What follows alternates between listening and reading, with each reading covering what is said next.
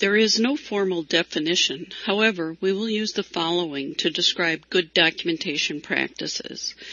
It would be the method in which information is recorded in a timely manner on quality records to ensure the documents are clearly marked, demonstrate accountability, provide traceability, and can be stored and maintained appropriately.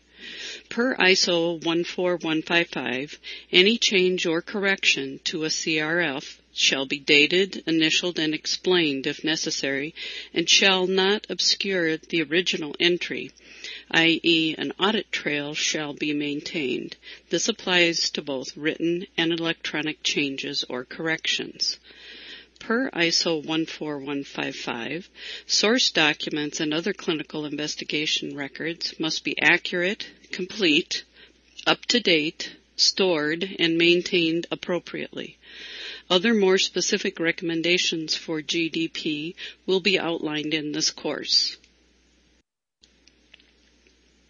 So why are good documentation practices important?